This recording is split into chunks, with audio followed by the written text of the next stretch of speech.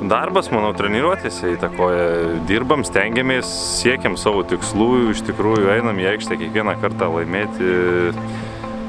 Ir tiek, manau, tie įvarčiai mušti, tai manau, to darbo, darbo pasiekmės, kaip sakant, ir išnaudotos tikriausiai progos, susikojam nemažai progų, išnaudojam ir, ir, ir to pasiekoje sumušam tuos 15 įvarčių. Aišku, kažkiek gal sėkmės, kažkurie įvarčiai tokie, kurių sunku būtų pakartoti, bet, bet manau, mes jų visų nusipelnėm. Jo, pilna būtų malonu, kad būtų pilna, e, bet e, manau, kad bus daugiau, tikiuosi, kad bus daugiau vis dėlto neįliniais varžybos.